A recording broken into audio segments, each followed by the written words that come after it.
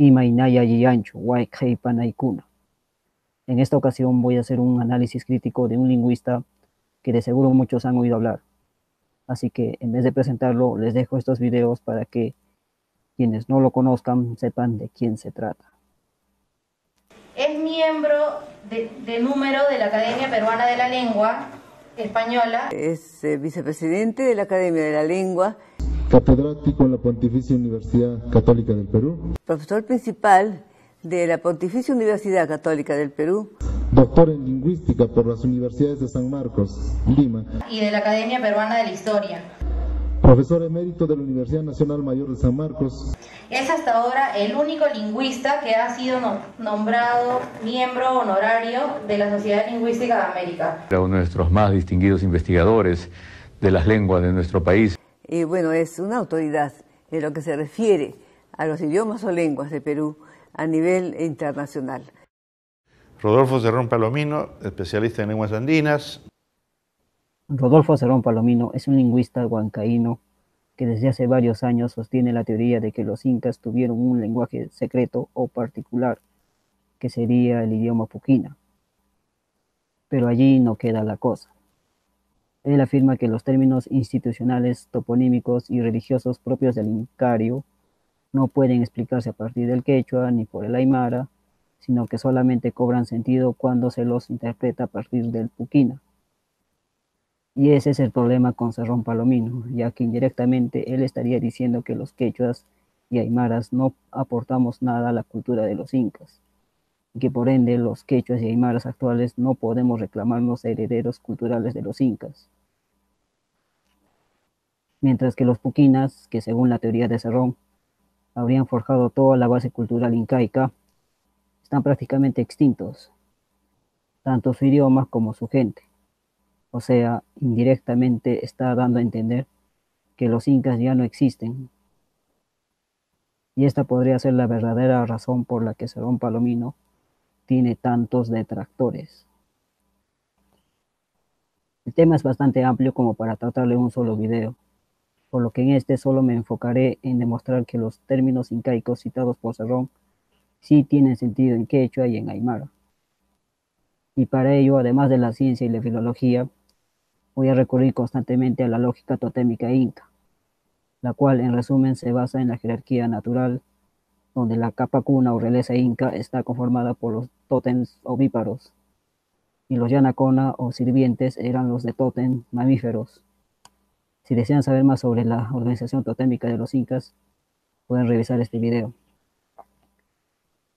Y antes de empezar, quiero aclarar que no estoy diciendo que el puquina no sea un idioma importante, sino simplemente que el quechua, aymara y puquina deben ser estudiados en conjunto para poder interpretar mejor el pasado incaico y no como Cerrón, que solo se enfoca en el idioma puquina, negando al quechua y al aymara.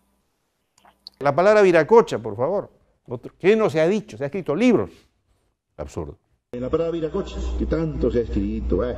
¿Qué no se ha dicho de Viracocha? Pues también, ¿no? Hay libros, tratados.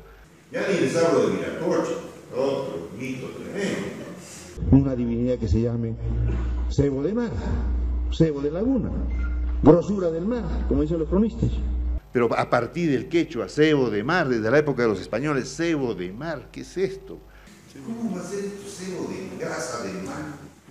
Y al mismo Garcilaso era, no dudaba de esto, no puede ser, semánticamente, ¿qué es esto? Huiracocha como cebo de mar sí tiene sentido, y sería el nombre que los incas le daban a nuestra galaxia, de cuyo nombre seguramente Cerrón Palomino también se burlaría, ya que Vía Láctea significa camino de leche. Y para sustentar esta etimología debemos tener en cuenta lo siguiente. Los astrónomos suelen nombrar a los astros según a lo que más se parecen, como la nebulosa Barnard 33, más conocida como nebulosa cabeza de caballo, lo mismo que IRAS 171633907 o nebulosa huevo frito. Así que podemos teorizar que los incas compararon nuestra galaxia con una mancha de grasa o espuma de mar flotando en el cielo, o sea, Huira, Cocha. Si profundizamos en la cosmovisión andina, el cielo es como una extensión del mar, donde la Vía Láctea sería como un lago y sus brazos como ríos, De ahí que en quechua le dicen Wilcamayu, río sagrado, y en aymara la Campu Jawira, río celestial, a uno de los brazos de la Vía Láctea que puede verse desde la Tierra. Esto lo corrobora el cronista Guamán Poma de Ayala, que en la página 1001 y 1002 de su nueva crónica dibujó un mapa mundi, en el cual se ven peces nadando junto a estrellas.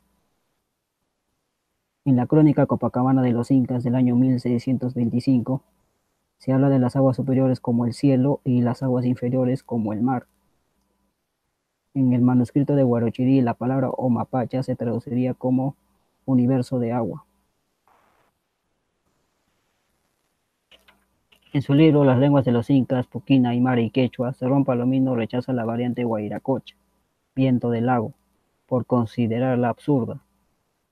Pero este nombre también estaría asociado a la Vía Láctea, ya que si comparamos la vista aérea de un huracán, es como un tornado marino, veremos que se asemeja bastante a la forma de una galaxia. A propósito, la palabra huracán suena muy parecida al mapuche huaracán, que significa cántaro de estrellas, siendo lo mismo que una galaxia, un sitio donde se almacenan estrellas. Por último, según el mito de Huiracocha, documentado por varios cronistas, se indica que este dios emergió del lago Titicaca y luego creó al sol, a la luna y a las estrellas. A mi parecer, este mito en realidad describe la formación de una galaxia, en la cual se crean las estrellas y planetas. Así, el Titicaca simbolizaría el universo y Huiracocha sería nuestra galaxia. Esa palabra Huiracocha es una quechuización forzada de la palabra Huilacota, Aymara, lago de sangre. Ese Viracocha viene de la Aymara, Huilacota. Entonces era Huilacotani, lugar con mar de sangre o jugar con, con eh, de sangre. Si Huiracocha evoca la similitud de la Vía Láctea con la espuma de mar, Huilacota evocaría el color rojizo de nuestra galaxia, ya que Huila también significa rojo, o sea, Huilacota, lago rojo. Luego, el mismo Cerrón, en su libro, interpreta la palabra aymara Huira como terreno en declive, pendiente. Entonces, Huiracota se traduciría como lago inclinado, pero como un lago no puede estar en declive, entonces se referiría a la inclinación de la galaxia. De esto se dio cuenta el astrónomo norteamericano William Sullivan, quien en su documental El secreto de los incas, la guerra contra el tiempo, él traduce la palabra Huiracocha como plano inclinado del mar celestial, en referencia a la precesión terrestre. Por último, en su libro, Cerrón también rechaza la variante Guaraicocha, la cual tendría sentido a través del Puquina Guara, estrella, río, o sea, Guaracocha, lago de ríos de estrellas. Como ven, tanto en quechua, aymara y puquina, Huiracocha hace referencia a la forma, color y posición de nuestra galaxia.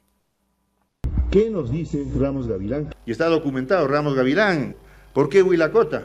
Ah, pues señor, la historia es muy bonita porque ahí Huayna ordenaba sacrificar cientos de niños en la ceremonia que se llamaba Capacucha. Porque Manco Huayna ordena sacrificar cientos de niños, degollar, como parte del sacrificio. Y Huayna que era el más apasionado para este, este tipo de celebraciones. Hay toda una historia interesante, hay que leer a Ramos Gavilán. Aquí parece que Cerrón Palomino solo busca satanizar a los incas hacerlos ver como crueles, sádicos y sanguinarios, como si disfrutaran ver morir a los niños. Además, enfocar la historia inca en función a los sacrificios de niños sería como enfocar la historia de la iglesia en función a las torturas y matanzas de la Santa Inquisición, o la historia de Estados Unidos en función a las dos bombas atómicas que lanzaron en Japón. Por último, los arqueólogos y exploradores no han hallado sacrificios masivos de bebés o niños incas los pocos que se han hallado no morían por degollación. Primero los dormían embriagándolos con chicha y coca, y luego les daban un golpe certero en la cabeza para que no sufran. Prueba de ello es que sus momias no muestran cortes o muecas de dolor o terror, están solo como dormidos. Nos dicen Ramos Gavilán se cientos de niños, de manera que la sangre bañaba, tenía de rojo todo Cientos se sacrificaban y la sangre Teñía toda la isla, alrededor de la isla, en el Titicaca. ¿ya? Los niños, ¿cómo iban al sacrificio? Las mamás amamantando hasta el último para mandarlos ya a volver a los niños. Cientos de niños. Se tenía de sangre todo ese sitio alrededor. O sea, lago de sangre, Huilacoto. ¿Y qué hay de malo en eso? Los aztecas lo hacían. Es una práctica humana. El único sádico aquí me parece el propio Cerrón Palomino, ya que no tiene problemas en decir que los incas degollaban cientos de niños, que su sangre teñía todo el lago, e incluso que las madres amamantaban a sus bebés antes de entregarlos al sacrificio. ¿Cómo puede hablar así? ¿Acaso no se puso a pensar que en esos auditorios había madres y niños presentes? Él solo está exagerando lo que dice el cronista Ramos Avilán.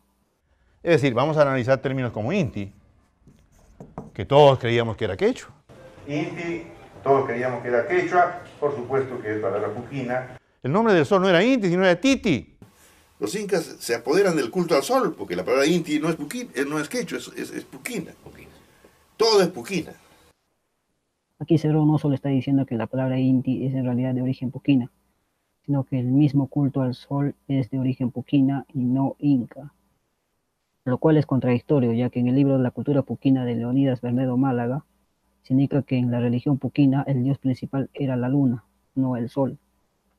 Además, Cerrón se contradice, a veces dice que los incas son de origen puquina y otras que los incas se robaron la lengua y cultura de los puquinas. Inti viene del oriente, ¿de dónde sale el sol? Anti, anti suyo, ya ven, entre anti e inti, pues estamos frente a la misma raíz, de dónde sale el sol, del oriente, anti. Entonces, inti es una palabra que está relacionada a anti. ¿Qué significa anti? Oriente, lugar por donde sale el sol. En el libro Pachacútec de Federico García Hurtado del año 2010 se mencionan las cuatro posiciones del sol, anti al amanecer, por eso el anti suyo estaba al oriente, inti al mediodía, conti al atardecer, siendo el conti suyo el occidente, Iguati cuando el sol está oculto durante la noche, o sea, el nadir. Con esto podemos deducir que solo la sílaba ti significa sol. Está presente tanto en el quechua, en el aymara y el puquina. Prueba de ello las palabras quechuas tigno, cenit y tunti, requemarse al calor del sol. En aymara titihuila, sol de la tarde, y en el puquina titi, sol e ituya o itiuya, rostro del sol. Además, hay que tener en cuenta que la palabra anti deriva de la aymara kantir koyo que significa montañas que se iluminan, siendo el origen del nombre de la cordillera de los Andes. ¿Cómo se llama? El celaje, los celajes en la tarde, ¿cómo se llama? Titihuila en aymara, la sangre del sol. La diferencia entre anti, inti y titi la hallamos en la simbología totémica, donde cada posición solar estaría asociada a un animal sagrado, similar a la cosmovisión egipcia, donde el sol del amanecer era Kepri, el sol del mediodía era Horus, el sol del atardecer era Set.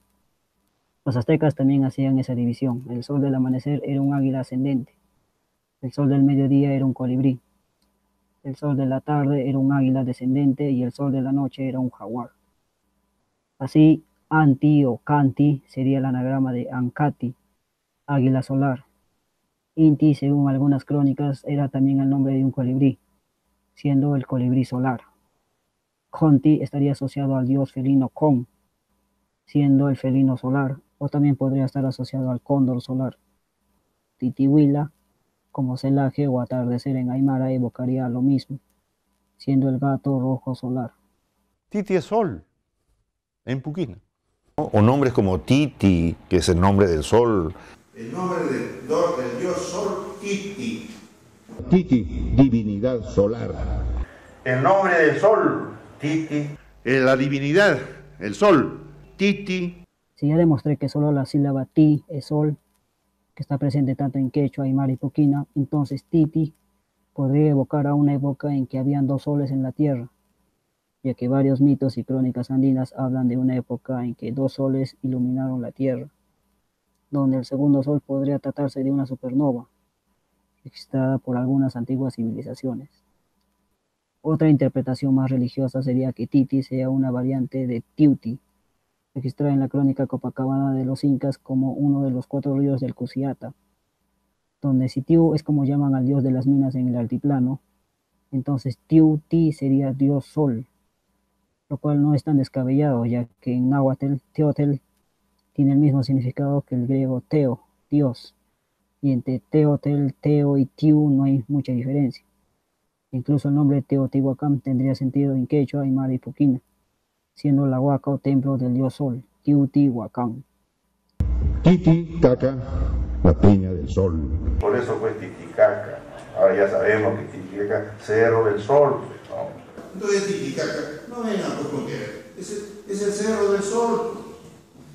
Por tradición popular, Titicaca significa puma de piedra, y según la leyenda debe su nombre a varios pumas que bajaron del cielo, aunque técnicamente se compone del aymara Titi, gato montés, y del quechua Caca, roca, o sea, Titi Caca, roca del gato montés. Traducción que para Cerrón Palomino no tiene sentido.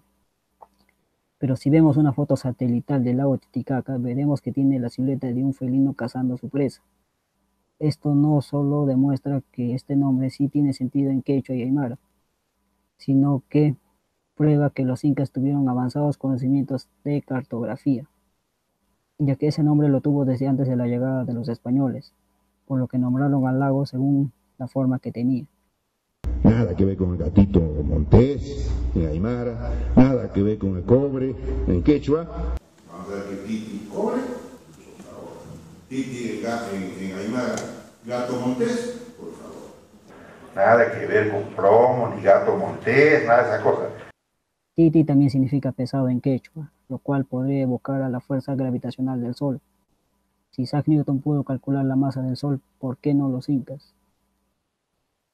Titi como gato montés en Aymara y plomo y cobre en quechua se explica por qué ese felino llamado Osco u Oscoyo en quechua es plomizo con franjas cobrizas. Ahora, Titi como sol en Puquina y gato montés en Aymara tiene una explicación cosmogónica donde en varias culturas antiguas el sol está asociado al felino. Por ejemplo, en el zodiaco Leo se asocia al sol. El nombre del dios sol griego Apolo o Apolión significa dios león. Muti era el gato solar egipcio. Curiosamente tiene la raíz Ti, sol. En fin. Por eso en el disco solar o placa de Chenique se ocultaba el rostro de un felino. Antaguayas como llaman a bolas de fuego o cometas en Aymara y dicen que tiene forma de felino. Chuquichinchay en quechua tiene varias traducciones. Cometa, aerolito, estrella sirio, constelación de Orión, donde Chinchay significa tigrillo. Como ven, estas cuestiones solo pueden comprenderse cuando se analiza en conjunto al quechua, al aymara y al puquino. Quillabamba, o sea, la Pampa y la Luna, son astronautas. No, señor, la Pampa y la Coca, pues. Porque ahora ya sabemos por la regla que Quilla, Kira, Quilla simplemente es variante de Kira, que significa Coca. En su libro, Cerón Palomino menciona que es absurda la división de la palabra quechua caraigua en cara, piel e igua, hierba. Pero lo curioso es que este disparate se repite en varias palabras quechuas, aymaras y puquinas, asociadas a reptiles y plantas. Veamos. Chocora, víbora en puquina, incluye la palabra quechua jora, hierba. Machajua, serpiente en quechua, se descompone en macha, enramada, y coa, serpiente en puquina. Asiru, serpiente en aymara, incluye el quechua iru, paja. Coa significa serpiente en puquina y planta medicinal en aymara.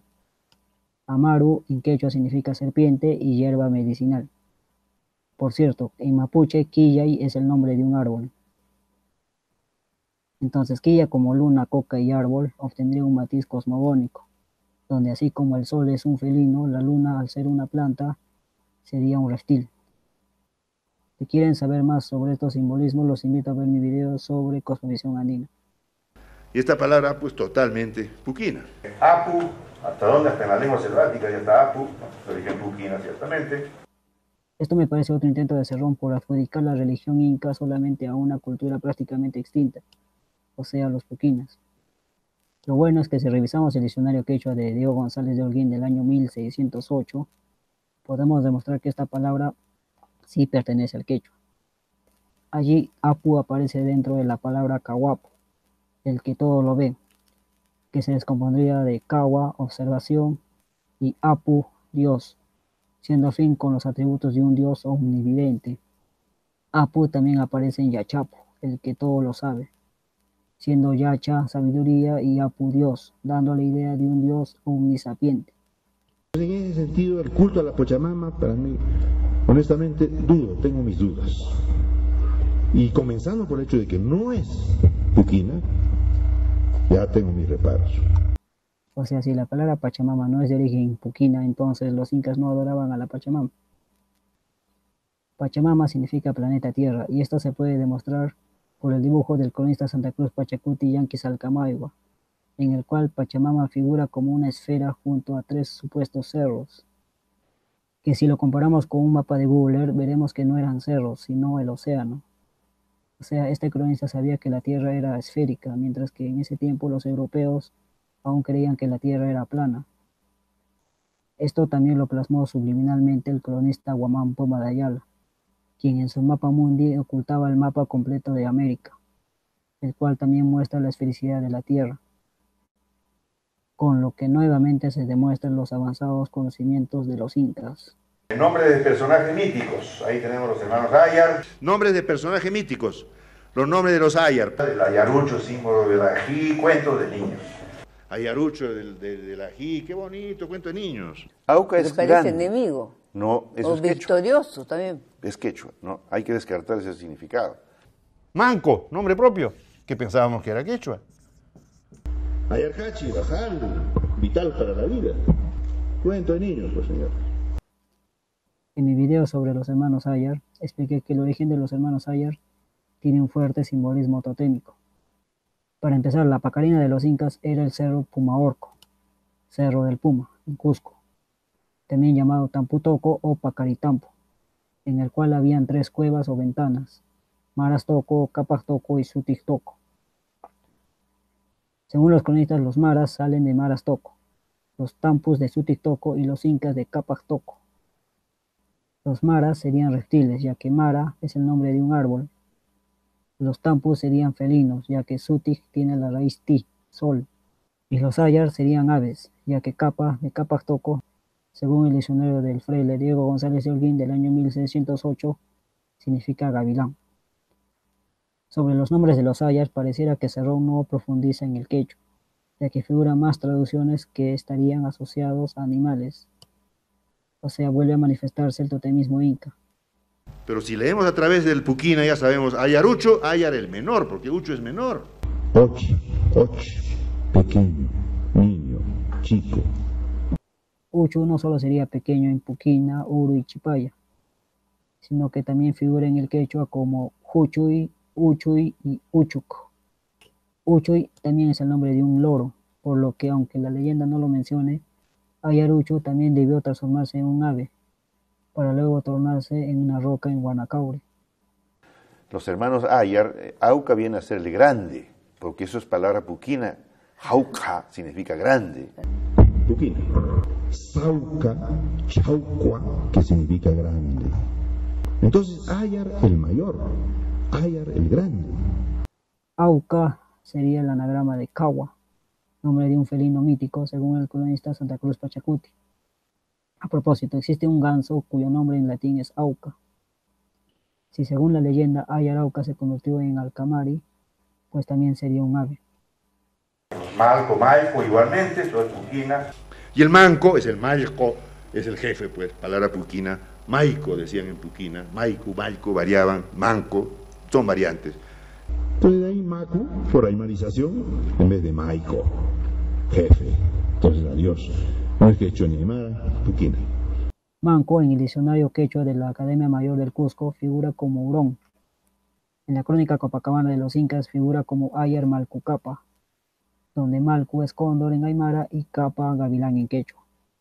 Cachi, ¿qué no se ha dicho de Cachi? Todo el mundo dice, ah, Cachi sale en quechua, se acabó. No, señor. Cachi, gachi, cerco. Nada que ver con la sal, pues. Hay que leer el mito. ¿Qué hacen los otros hermanos? ¿Qué, qué le hacen a Ayarcachi? Lo encierran en un cerco, lo tapian y ahí muere, por envidia. Entonces el Ayarcachi es el Ayar que es encerrado por los hermanos en un cerco. o lapidado, ahí lo dejan por considerarlo peligroso, según el mito que todos conocemos.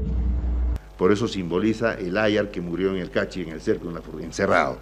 Entonces simbólicamente lleva el lugar donde fue encerrado Cachi. Según la leyenda, Ayar Cachi reaparece como pájaro ante sus hermanos. Cachi podría ser el anagrama de Achi, gavilán en quechua. En cuanto a Cachi como cerco, esa palabra también aparece en el Aymara, pero sobre toponimia no voy a profundizar en este video.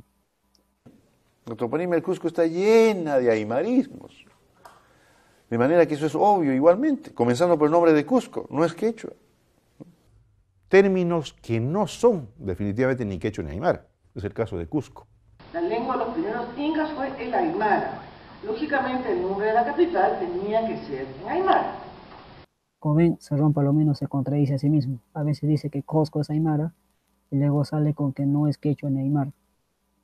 En la crónica Copacabana de los incas traducen la palabra Cusco como centro en Pacuartambo, Cusco, los sacerdotes queros, dentro de sus prácticas chamánicas, usan el término quechua coscoñahui para referirse al ojo astral que está ubicado en la zona umbilical, o sea, coscoñahui, ojo del ombligo. ¿Qué eso de ombligo de la tierra del Cusco, por favor? Eso no existe pues en ningún sitio. Eh, lo que Garcilaso dice, ombligo de la tierra, pues es un, no, no tiene ninguna base, ningún sentido, ¿no? Hay distorsiones y mitos, como lo del ombligo de la tierra, que no tiene sustento quienes han tratado de dar el significado lo han hecho sin ninguna base lingüística. Sin ninguna base, ni fonológica, ni menos semántica. Nada que ver con ombligo de la tierra. Para demostrar que Garcilaso de la Vega sí tenía razón, debemos analizar la leyenda de Manco Cápac y Mamaogio, donde el Inca llevaba consigo una vara llamada Tupayauri, con la que tanteaba la tierra en busca de un valle fértil donde establecerse. Dicha vara se hundió en lo que ahora es el Cusco, el ombligo del mundo. La leyenda indicaría que Manco Cápac estaba buscando el centro magnético de la Tierra, y el Tupac Yauri pudo ser un aparato de radiestesia para detectar geomagnetismo. Prueba de ello es que su nombre se compondría de Tupac encontrar y Yauri aguja, es decir, Tupac Yauri aguja que encuentra. Ahora, estos mapas de geofísica demuestran que el Cusco está ubicado justo en el centro magnético de la Tierra en medio de la mayor concentración radiactiva de la magnetosfera, por lo que Cusco, como ombligo del mundo, tiene todo el sentido del mundo, demostrando nuevamente el avanzado conocimiento de los incas. El sitio se llamaba Coscohuanca, digamos la roca, el peñón del Cusco. pero Cusco, ¿qué, ¿qué significaría en Aymara? Bueno, a mí me ha costado por lo menos 25 años encontrar el significado, ¿no? Yo les confieso que el nombre del Cusco me ha costado 30 años encontrar el significado. Indagar nos ha tomado mucho tiempo. El significado fue el de lechuza, es una palabra aymara. Cusco alude a un, a, una, a un falcónida, que viene a ser el mismo alcamari. En aymara es alcamari, pero la palabra mari es puquín. Ese Ayarauca, efectivamente, siguiendo las órdenes de Manco Cápac, vuela, baja, desciende hacia el Cusco, donde está ahora el Coricancha, toma posesión y se convierte en piedra. Desde entonces se llama Coscohuanca, Cosco. Bien claro, o sea, la piedra, el peñón donde se posó el, el ave falcón. El nombre Cosco tendría varias interpretaciones desde el totemismo. En Aymara, lechuza, en mapuche, coscos, gato montés, perro pequeño en castellano, en fin. El nombre completo Coscohuanca comprendería Alcoa, serpiente, Osco, gato montés, Coa, felino volador y Anca, águila. Prueba de este simbolismo es que el plano del Cusco incaico tuvo forma de felino. Ahora, si revisamos el ombligo del dios Huiracocha en Pumapunku, veremos que aparecen un felino con cuerpo de serpiente y rodeado de aves, o sea, un Coscohuanca. Por lo que Garcilaso tenía toda la razón cuando comparó el Perú con una persona y dijo que Cusco estaría en el medio. ¿Cómo se llamaba el nombre auténtico, según Guamampoma, algunos cronistas, el nombre antiquísimo del Cusco? Acamana, Acahuana, y yo reconstruyo como Acapana. ¿Eh? No, el nombre auténtico del Cusco era Madre Chicha, Acamama. Qué bonito. ¿Dónde pues ha visto un nombre poner nombre en un sitio así? en ninguna parte del mundo. Para empezar, Guamán Poma no escribió Acamana, sino Acamama. Y me parece algo forzado convertir Acamana en Acapana. Acamama cobraría sentido si volvemos a analizar la leyenda de Manco Cápac y Mamaoji, quienes iban en busca de tierras fértiles. Para ellos ayudaban del Tupayauri, que como ya dije, sería un aparato de radiestesia, que también serviría para detectar aguas subterráneas, siendo coherente que el sitio donde se hundió la vara se llame Acamama, madre chicha o chicha grande o chicha abundante, en referencia a que en ese sitio abundaban las aguas subterráneas. Incluso en su libro Cerrón, aunque burlándose, cita un tal Ausa, quien tradujo Cusco como lugar acuoso, o sea, en parte tenía razón. Así, del mismo modo que en el éxodo bíblico, Moisés con su vara hizo brotar agua de una roca, Manco Cápac halló agua subterránea con ayuda del Tupayauri. Ven que las leyendas y nombres no se conservan por gusto, y que Cerrón no hace ni el más mínimo esfuerzo por interpretarlas. Por el contrario, solo se burla de lo que no puede o no quiere entender. Instituciones, ¿qué nos ha dicho la panaca? Pues, Soide, Matos, Rostoroski, Valdemar Espinosa, perdido totalmente. Por nombre de instituciones, panaca. Otra aberración. Pana es que he hecho hermana. Ya, con los incas se casaron con su hermana, entonces ya cada quien formaba su panaca. ¿Qué no se ha dicho sobre panaca? Tom Soide, la lumbrera. Yo he discutido con él varias veces, le he dicho, estás equivocado totalmente. ¿Qué tiene que ver la hermana, por favor? Claro, a partir de pana, hermana, etcétera, ¿no es cierto? Una especie de sistema matrilineal, ¿no? Eh, no solamente de Balcarce, bueno, él, él, es el iniciador, pero después los historiadores posteriores casi unánimemente han ido manejando ese concepto. De hecho, se sigue ¿no? utilizando. Tomándolo como quechua, ¿no? Ujú. Y más bonito es decir, ah, por la hermana, uy, matrilineal, uh, la Rostorowski, uh, feliz de la vida, uh, soy de Por favor, fantasía. Cerrón no debería burlarse de María Rostorowski y Valdemar Espinosa, ya que ellos se fueron a vivir un tiempo a España para poder revisar personalmente los archivos de Indias de Sevilla y lograr mostrarnos pasajes inéditos de la historia del virreinato del Perú que de otro modo nunca nos hubiésemos enterado. Ahora, en biología, durante la fecundación, el bebé hereda el ADN nuclear del padre y el ADN mitocondrial de la madre. El ADN nuclear solo aporta el 1% del material genético, mientras que el ADN mitocondrial aporta el 99%. Entonces tiene mucho sentido que las panacas incas se basen en el sistema matrilineal, o sea, en torno a las hermanas, donde panaca podría ser la contracción del quechua pana, hermana, y del sufijo pluralizante aymara, naca, o sea, pananaca, hermanas. Sí, paña, pana, en, en puquina significa descender, bajar, ¿no es cierto? Y el sufijo ka del, del, del aymara que indica justamente el movimiento hacia abajo, ¿no? Entonces el término significa descendencia, o sea, linaje, ¿no? Pana es puquina, significa descender, bajar. Le agregamos el sufijo aymara ka, que significa descender, panacaña, bajar. Paña en puquina significa descender, bajar. A este paña, puquina, le agrego el aymara acá, bajar, bajar, descendencia. Nada que ver entonces con la palabra para, pana en quechua. Panaca, pañaca, simplemente significa descendencia, linaje, punto. Tantas cosas los historiadores, que la hermana del Inca, que no sé cuántos, ya tejiendo fábulas. Panaca simplemente descendencia, linaje, nada más. ¿Qué tiene que ver eso con la hermana, matrimonios con la hermana, total? Todo lo que han dicho estos, estos antropólogos estructuralistas, ¿no? Un absurdo realmente. Si agregamos la interpretación de Cerrón, panaca significaría linaje o descendencia de las hermanas. Este término sirve para demostrar que la genética inca aún está presente en el Perú, ya que históricamente la mayoría de peruanos descendemos del cruce de hombres españoles con mujeres incas, como el caso de Garcilaso de la Vega o Tupac Amaru. O sea, nuestro ADN mitocondrial es inca, y así como Lupaca proviene del aymara Lupijaque, gente del sol, Panaca sería Panajaque, gente pato, que dentro del totemismo inca pertenecerían a la realeza. Eh, no olvidemos que Garcilaso mismo usaba aquellos términos que él después va a considerar corruptos. Firmaba Inga, Inga de la Vega. Primero firmaba Inga, porque era Enga. Ya se cambia a Inca.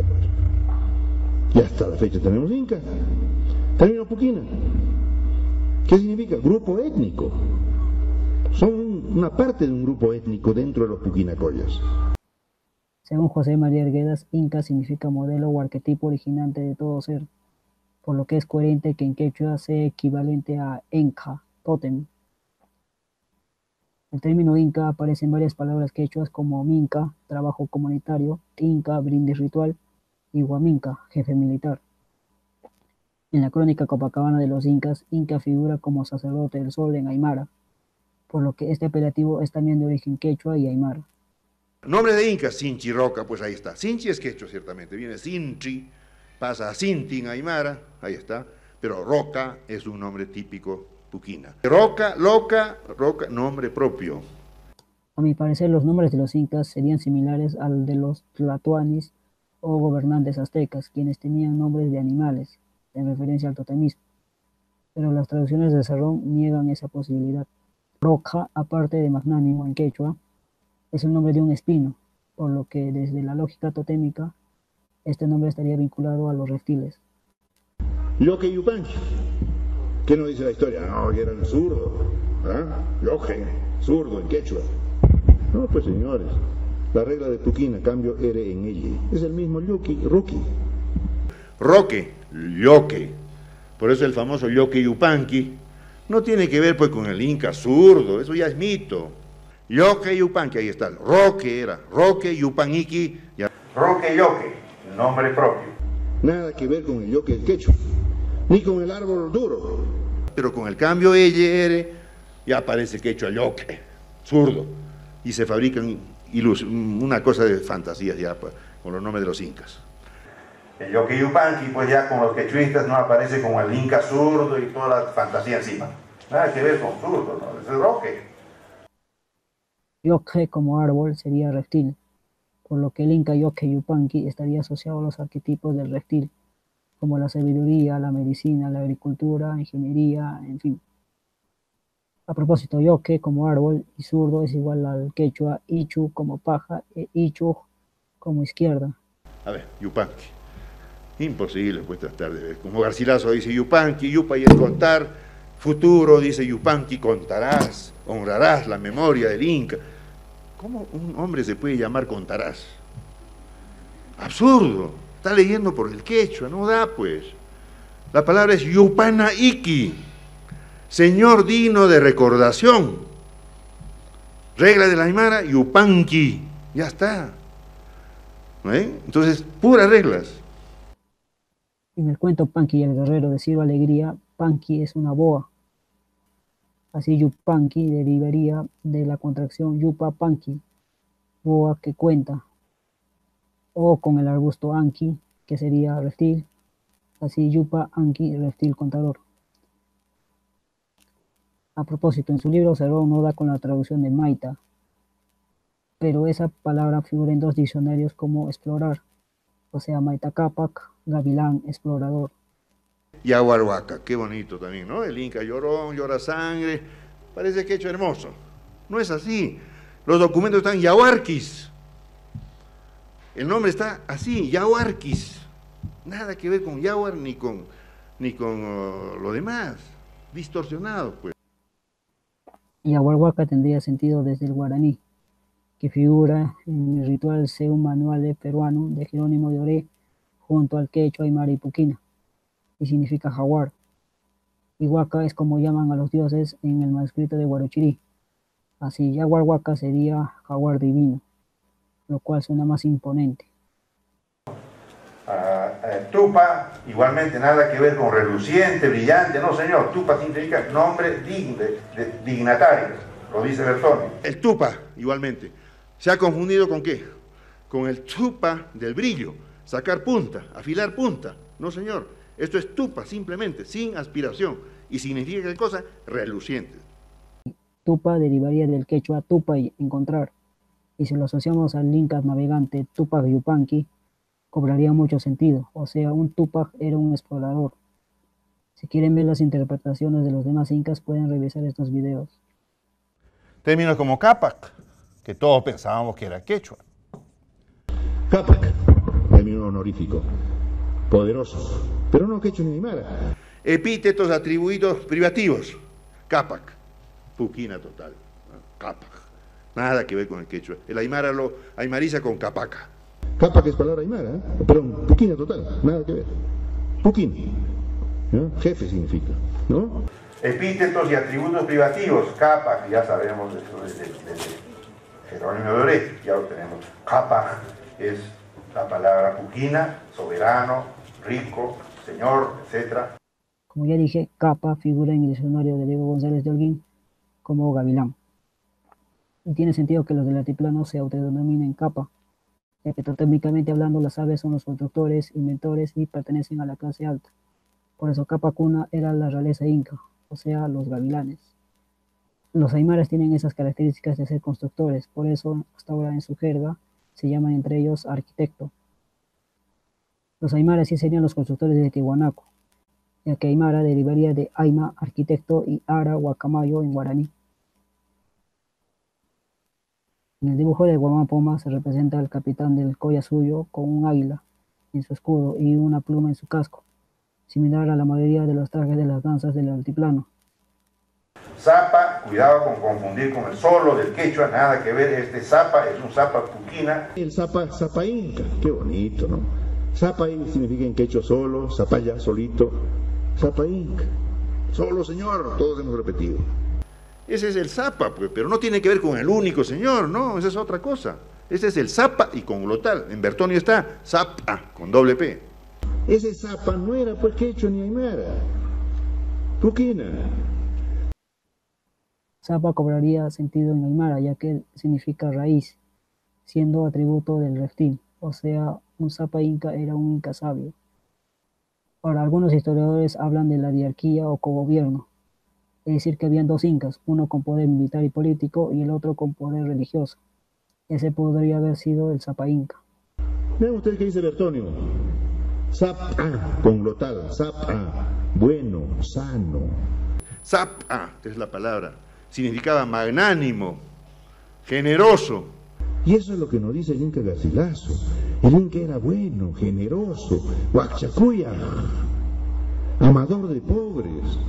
Que son los atributos que después les van a dar a los incas, como el magnánimo, el generoso, el, el como dicen los cronistas. Todo ese discurso ya bastante lírico, pues, ¿no? De los incas, ponerlos en el cielo como generosos, ¿no? Lo cual es falso también.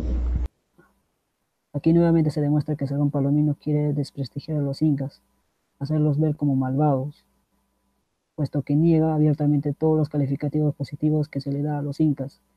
Él solo quiere enfocarse en lo negativo.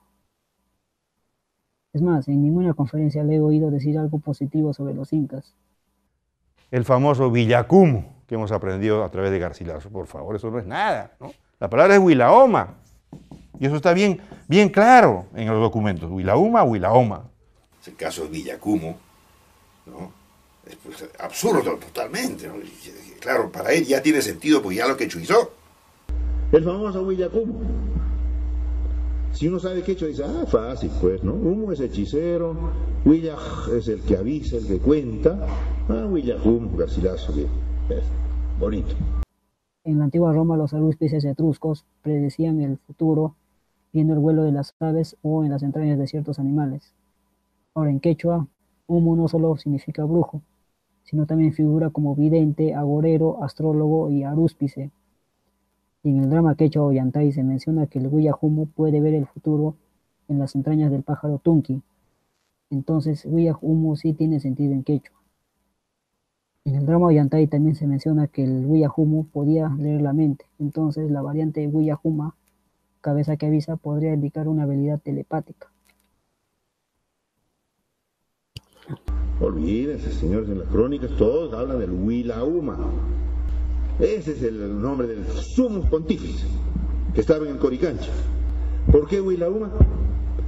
Porque ese señor se encargaba de controlar las masacres de los niños, el sacrificio, el que siempre tenía las manos ensangrentadas, llenas de sangre. Por eso era el Huilauma.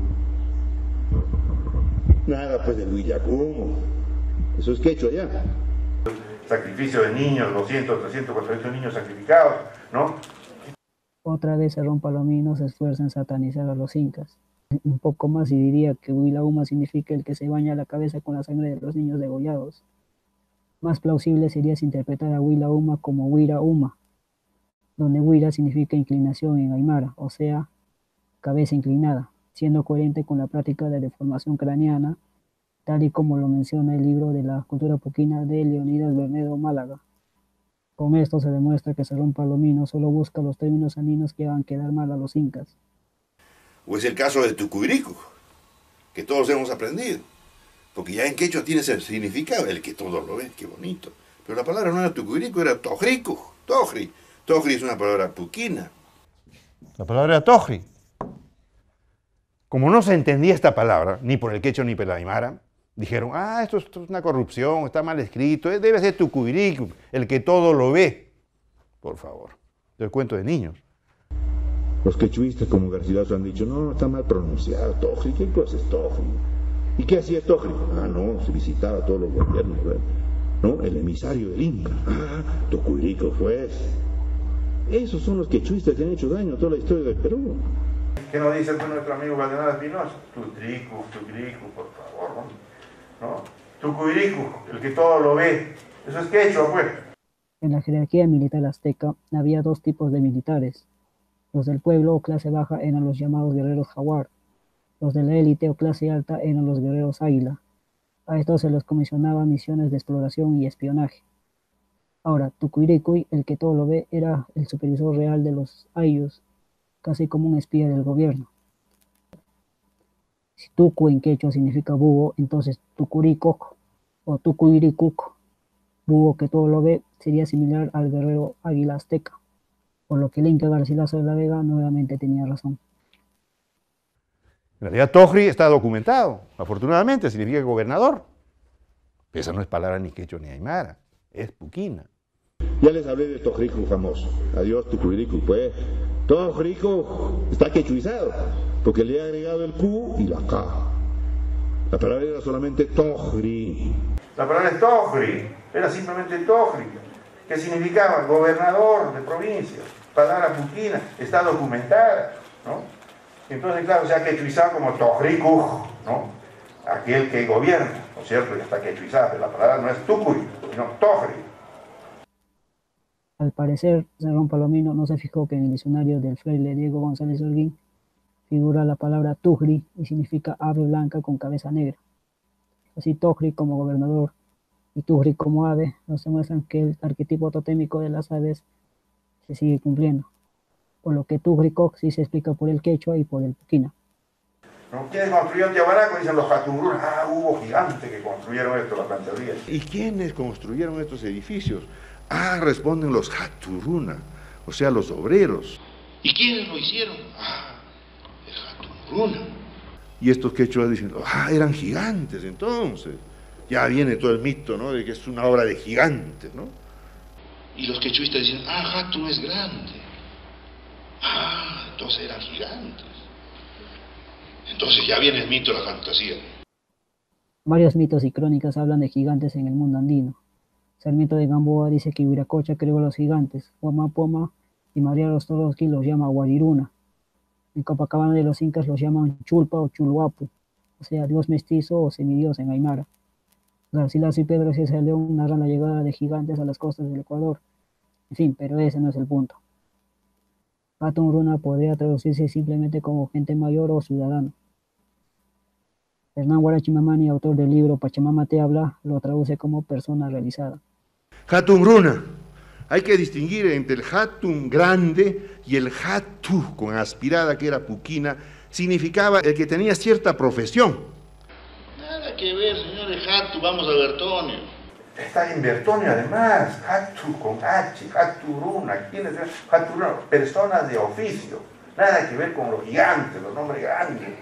Absurdo por no distinguir entre Hatu con aspiración y Hatu grande significa grande, otra cosa, quechua.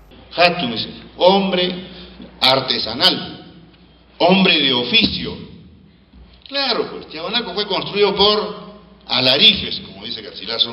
O sea, con, por albañiles. Nada que ver, eran simplemente los albañiles, ¿no? Especializados en la construcción. Esa palabra Katuruna sí tiene explicación a partir del quechua, donde si Katu significa mercado, entonces Katuruna simplemente significaría mercaderes o comerciantes. Y si lo asociamos al totemismo inca, difícilmente los Katuruna pudieron haber sido los albañiles que construyeron Tehuanaco, ya que la habilidad constructora es exclusiva de las aves. De allí que en quechua Winchu significa arquitecto y colibrí. Según Garcilaso, el arquitecto mayor que construyó Sacsayhuamán se llamaba Apu Walparimachi, donde Walpa es ave, y de esta palabra sale el verbo Walpai, inventar, crear. Los Haturuna estarían asociados al totem felino. Prueba de ello la hallamos en los chinchas, que según varios historiadores fueron los más grandes comerciantes de la antigüedad, donde chincha significa tigrillo en quechua. Curiosamente, mercado en Puquina se dice gato, e incluso kiosco, que es una tienda, incluye el término quechua osco, gato montés, en fin. ¿Por qué no de ellos Tiahuanaco? Pues hay tantos ensayos que se han hecho de el Cobo en adelante. Siéntate, Guanaco, ¿no? ¿Qué es esto? ¿Qué nos ha hecho Tiahuanaco? Se ha escrito libros. El más chistoso, por supuesto, que nos dan los cronistas, siéntate, guanaco. ¿No? Tía y guanaco. ¿Cómo, ¿Cómo, un lugar se puede llamar siéntate, guanaco? ¿No? ¿No? Nada que ver, ¿no? Cuando Garcilaso dice que el nombre de Tihuanaco deriva de siéntate, guanaco, en realidad se referiría a una esfinge, es decir, una escultura de un guanaco sentado la cual se menciona en la crónica Copacabana de los Incas como Titi Guanaco, es decir, una estatua de estaño de un guanaco. Si esto lo comparamos a la Esfinge de Egipto, que según la arqueoastronomía tiene una antigüedad de 10.000 años, ya que en esa época su silueta coincidía con la constelación de Leo. Ahora, según el ingeniero Arthur Posnansky, Tiahuanaco tendría entre 12.000 a 17.000 años de antigüedad. Y si los españoles llamaban borregos, ovejas y carneros a las llamas, alpacas y guanacos, entonces el ídolo de estaño con forma de guanaco podría datar de la era de Aries, el carnero. O sea, lo que Garcilaso contaba sí era verdad, solo que lo contó de un modo simbólico y más fácil de recordar, para evitar la censura de la iglesia y o de la Santa Inquisición, cosa que muchas veces el no se pone a pensar, como si en ese tiempo fuera fácil escribir sobre idolatría. Cabe mencionar que en esa enigmática crónica de Copacabana se menciona al padre de Garcilaso, el capitán Sebastián García Lazo de la Vega, como uno de los primeros exploradores del altiplano, por lo que además de ser sobrino nieto del Inca Huayna Cápac, el Inca Garcilaso debió tener acceso a información privilegiada sobre el pasado incaico y debió tratar de narrarlo de forma discreta en sus comentarios reales. Hasta ahora no sé qué significa Ana. Tenemos Anapía, una isla. Todavía estoy averiguando qué cosa es Ana. No, es fácil. Ana es fácil de traducir, estela, vestido, y aparecen varias palabras quechas asociadas a telas, como jaguana, prenda que se usa por fuera, mitana, pañal, anacu, falda, katana, frazada, y hasta en el castellano lana, sábana, sotana, bandana, en fin. Pero seguramente Cerrón dirá que no es quechua, sino que es una distorsión del puquina ani, ropa hay que hacer un esfuerzo multidisciplinario. Hay que trabajar en lingüística histórica, pues un poco de arqueología, últimamente incluso genética, para tratar de averiguar sobre estas lenguas del pasado. Es como si la noción de interdisciplinaridad excluyera la lingüística. Entonces yo paro oh, haciendo una especie de campaña, ¿no? reclamando esta presencia necesaria de la lingüística andina a los efectos de la comprensión del pasado andino. La invocación del enfoque interdisciplinario para dar cuenta y razón de los hechos del pasado andino ha tenido un sesgo marcado. ¿Cuál es ese sesgo? La exclusión consciente o inconsciente de la lingüística histórica y de la filología. Como vieron, Cerrón Palomino no apela como se debe al estudio interdisciplinario, ya que parece ignorar a propósito varios temas sobre ciencia, lingüística y cosmovisión andina, que podrían respaldar varias traducciones del quechua y del aymara. Varias palabras que decía que eran de origen poquina figuran como quechua y aymara en varios diccionarios y crónicas, muchas de las cuales figuran en la bibliografía de su libro, por lo que o no investiga bien o deliberadamente las ignora para no darle importancia a los quechuas y aymaras. Sé que él podría decir que yo soy un ignorante en lo que se refiere a lingüística, Pero yo podría pensar lo mismo de él en cuanto a lo que se refiere a cosmovisión andina e identidad cultural, ya que en ninguna conferencia le he oído decir algo positivo sobre los incas. Todas sus charlas consisten en calumniar a los incas, burlarse de las leyendas andinas, ridiculizar las traducciones quechos de aymaras y desacreditar a los historiadores, lingüistas y cronistas que hablen bien de los incas, como Garcilaso, Rostorowski, Valdemar Espinosa y Alfredo Torero. Bueno, con esto concluyo el primer análisis crítico de los estudios del lingüista Rodolfo Cerrón Palomino. Espero haber demostrado con creces que los términos asociados al incario, citados por Cerrón, sí pueden explicarse a partir del quechua y del aymara. Y con esto haber probado que los quechuas y aymaras sí aportamos bastante al surgimiento del imperio incaico. Y que los quechuas y aymaras actuales tenemos todo el derecho de reclamarnos herederos culturales y naturales de los incas. Y bueno, como dije, analizar los postulados de Cerrón Palomino me ha resultado bastante demandante, por lo que planeo hacer dos o tres videos más, donde refutaré sus demás afirmaciones, como que el Puquina, el Quechua y el Aymara son idiomas totalmente diferentes y que nunca existió un tronco común del que pudieran haber surgido, que la lengua del altiplano nunca fue el Aymara, que en el Cusco nunca se habló el Quechua, que los collas no son aymaras, sino puquinas, y estos a su vez son los verdaderos incas, la toponimia, en fin. Solo les recuerdo que si están interesados en leer libros donde se analicen los idiomas de los incas en conjunto, no olviden escribirme a mi página para decirles cómo adquirirlos. Por cierto, si Cerrón Palomino ve este video y quiere justificar sus afirmaciones, yo estoy totalmente dispuesto a debatir con él. Antes de terminar este video, quiero mandar saludos a mis amigos Sergio Huanca, José Luis Quispe y José La Torre, quienes me apoyaron y motivaron a realizar este análisis crítico contra Cerrón Palomino porque creo que fácilmente nadie se atrevería a encarar a una persona respaldada por tantas universidades y títulos rimbombantes. Así que bueno, no olviden suscribirse, compartir este video, visitar mi página y conmigo será hasta una nueva oportunidad. Tupananchis, cama.